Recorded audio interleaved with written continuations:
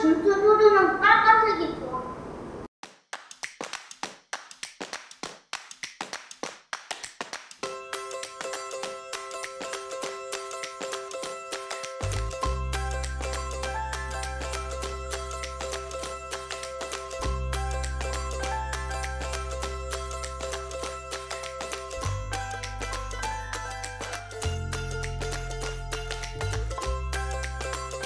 가람아 무슨 색깔 좋아해?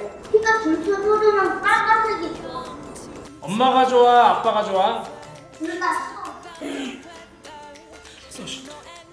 아줌마 안중이야. 왜안 아프대?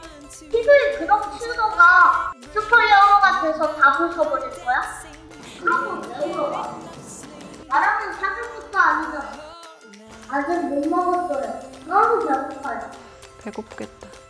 안 씻어도 돼? 내가 그걸 알아? 오늘 또 만났으면 좋겠어요. 질문이랑 답 같은 게 정해져 있는 거 아닐까 생각을 했었는데 직접 해보니까 뭐 제가 하는 질문마다 대답을 잘 하더라고요. 진짜 machine learning을 한 거구나. 콘텐츠를 어떻게 고르느냐에 따라서 아이들한테 큰 영향이 있는 것 같다는 생각을 하게 됐고요.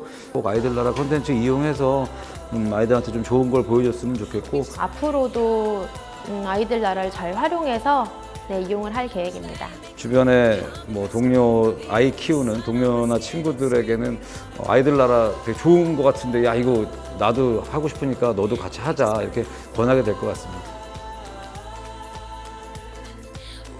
아이들